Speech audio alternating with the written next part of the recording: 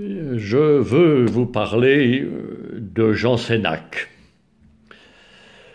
Euh, les éditions Actes Sud viennent de publier en 2019 un volumineux ouvrage, une anthologie des œuvres poétiques de Jean Sénac, dans un livre très bien présenté que voilà.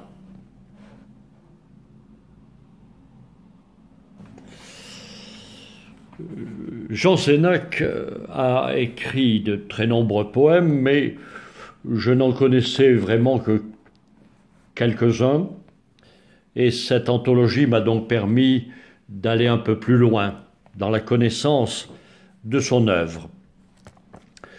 L'ouvrage est préfacé par René de Sécatie,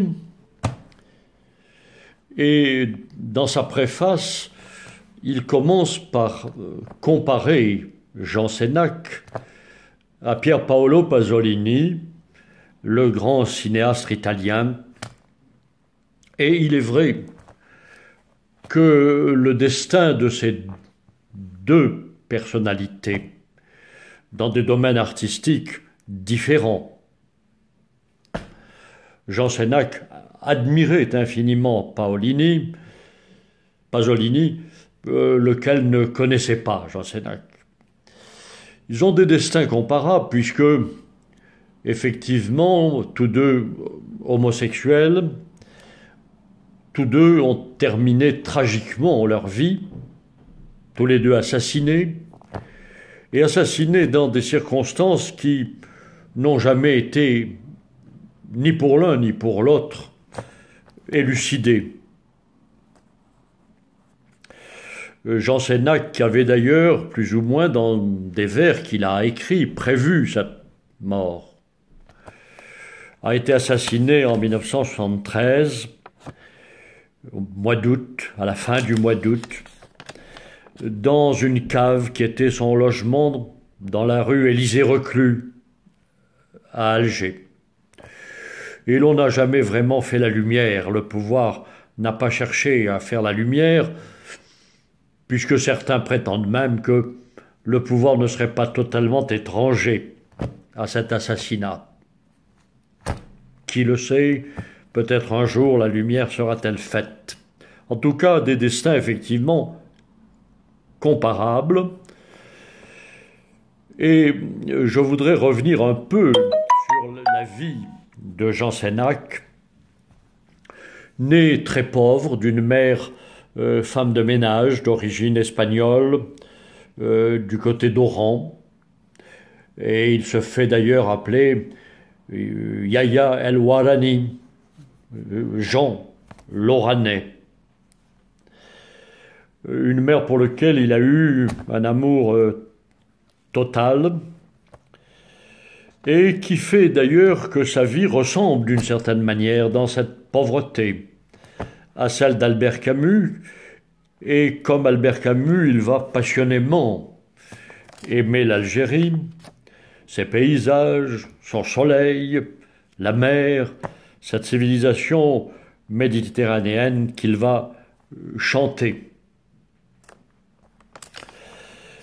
Et euh, ce qui est très euh, significatif et à noter, c'est que ce poète va prendre le parti de l'indépendance de l'Algérie, des indépendantistes, dès l'origine, c'est-à-dire dès 1954, il y a des poèmes à la gloire de la guerre d'indépendance et il prévoit dans sa, euh, ses poèmes la victoire des euh, indépendantistes. Et c'est ce qui fait d'ailleurs euh, que dans, en marge euh, d'un de cette série de poèmes, l'éditeur a placé cette phrase de Cocteau qui, qui va très bien, qui dit ceci Le rôle du poète n'est pas de prouver, mais d'affirmer sans fournir aucune des preuves encombrantes qu'il possède, et d'où résulte son affirmation. Par la suite, la lente découverte de ces preuves donne au poète sa place de devin. Et effectivement, Jean Sénac a eu raison avant tout le monde. Et cette prise de position euh, lui a d'ailleurs créé des ennemis. Il a fini par se fâcher, y compris avec quelqu'un qu'il aimait beaucoup, Albert Camus, qu'il a contribué à l'éditer, mais dont il ne pouvait pas supporter l'absence de prise de parti très claire pour l'indépendance. Après l'indépendance, il a eu quelques années, quelques mois, où le pouvoir, se souvenant de son action et de son militantisme, l'a aidé.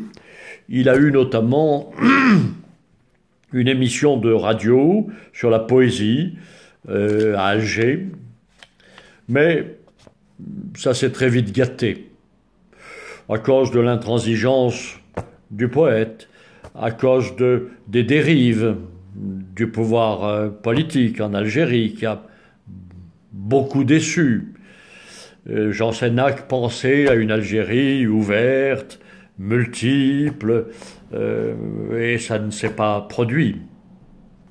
Et donc il ne cachait pas ses critiques et très vives, et c'est peut-être ce qui fait qu'à la fin, non seulement il a été abandonné financièrement, mais qui sait peut-être euh, réduit au silence. C'est une erreur, parce que on ne réduit pas au silence un poète. Et René de Sécati évoque aussi, à propos de Jean Sénac, un destin euh, parallèle, celui de Federico Garcia Llorca, assassiné par les milices franquistes, qui vont voulu le faire taire, lui, l'homosexuel, le poète, le républicain, qui n'y sont pas parvenus. Ces assassins, ces tortionnaires sont oubliés depuis longtemps. Et Federico Garcia Lorca est la voix de l'Espagne. On peut espérer que Jean Sénac sera, dans les temps qui viennent, la voix de l'Algérie. Il a donc euh, milité très tôt et il, a rédigé un certain nombre de poèmes dans ce sens, mais il faut aussi euh, dire, parce que c'est une partie importante de son œuvre, qu'il est homosexuel et qu'il célèbre dans ses poèmes les corps, l'amour, dans cette euh, splendeur du soleil et de la mer. Et cela, il était certain que cela lui vaudrait des difficultés dans un pays où l'islam règne. Était-il naïf euh, Se rendait-il vraiment compte de la situation réelle? Euh, Je n'en sais rien. Toujours est-il euh, qu'il a fait de magnifiques poèmes dans ce sens. René Tsekati dit que c'est un poète à la hauteur de Cavafi, à la hauteur de Garcia Lorca, je l'ai dit, à la hauteur de White Wilvam, c'est-à-dire un grand poète. Et par conséquent, il mérite, comme tous les poètes, non pas qu'on parle de lui, encore qu'il est bon qu'on se rappelle sa vie, mais qu'on lise ces poèmes, qu'on les récite, qu'on les apprenne dans les écoles.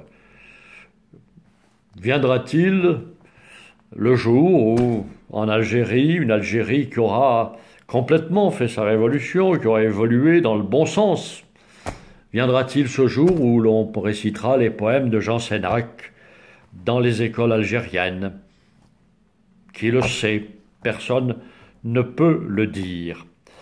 Je voudrais terminer par conséquent en vous donnant peut-être l'envie d'aller dans cette anthologie lire euh, les centaines et les centaines de poèmes. Je vais vous en lire quelques-uns, évidemment très peu, mais qui donnent le son de sa voix. Dans un poème qui s'appelle Le torrent de Baïn, il fait euh, Euh, un premier poème que je cherche à l'instant où je vais vous le lire.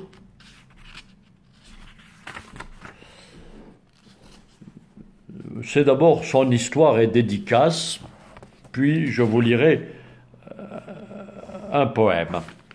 Histoire et dédicace. Dans cette maison, avant les longues transhumances, le berger venait se reposer. Elle est un lieu de halte. J'y ai rêvé. À relire ces poèmes, je comprends aussi que je n'y ai pas été heureux. Pourtant, le pays est d'une beauté bouleversante.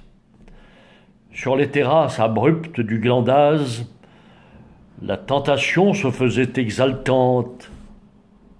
Adore toutes ces choses et elles t'appartiendront. Nous répondions par la pauvreté et par la splendeur, les mains ouvertes avec leurs lignes infinies. Ces poèmes sont ceux de la solitude et de l'attente, un constat d'exil. Je retournerai vers le soleil, celui impitoyable d'Afrique, la mer, le bruit, mes territoires. Dans ce monde où la mort milite, nous ne sommes pas faits pour vivre seuls, mais pour aimer et faire face. L'amitié, la confiance, l'estime de quelques-uns ont convoyé ces pages. C'est à eux que je les dédie, comme autant d'instants d'arracher à l'imprudent silence du torrent de Baïne. Le pas de la Yurte. Tous ces visages, pour dire une même clarté inaccessible, fuyez donc, secret de mon cœur, nous irons plus haut, dans les failles, la neige, retenue sur le vide par un buis vieillissant, fragile, rompu, vers la cabane de tôle où dorment les bergers, pour les Delveis qui portent chance, pour rien d'autre, mon cœur, rien d'autre. Il y a aussi une dédicace euh, à, à dans des poèmes qu'il fait sur l'Algérie. Voici la dédicace qu'il adresse à Amar Wesgan. À toi, mon cher Ousgan, ces textes où tu trouveras, avec ma vieille amitié, ces rêves que nous faisions dans les étés radieux, et sombre de la Marsa, et que nos frères ont réalisé. Salut donc à ce peuple dont nous sommes, et à toi, soleil fraternel, Jean Yahya El-Warani. Et ensuite, jeunes gens de mon pays.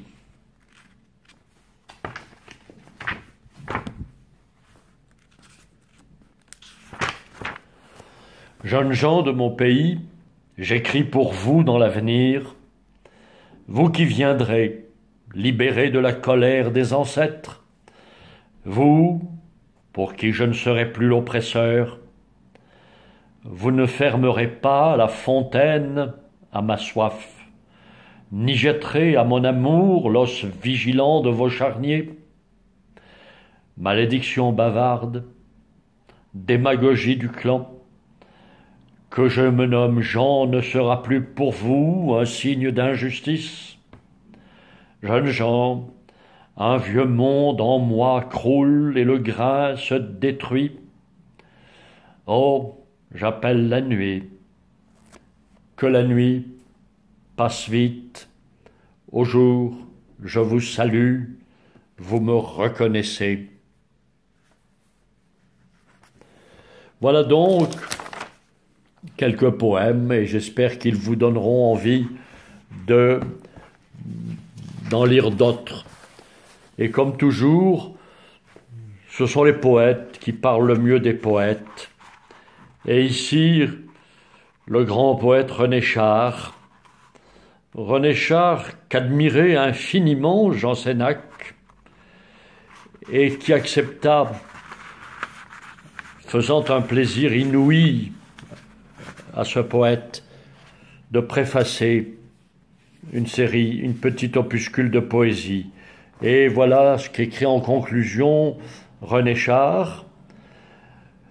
Les poèmes qui m'accompagnent ici aujourd'hui sont ceux de Jean Sénac. Il chante à longue voix nourrie et pure le paysage de l'atelier immense du soleil, atelier qui a la nuit pour toiture, et l'homme comme exploit décevant et merveilleux. Le vent ami tourne dans mes doigts les pages du cahier où une écriture de jeune homme s'établit en poésie. Voilà, alors lisez Jean Sénac après ça.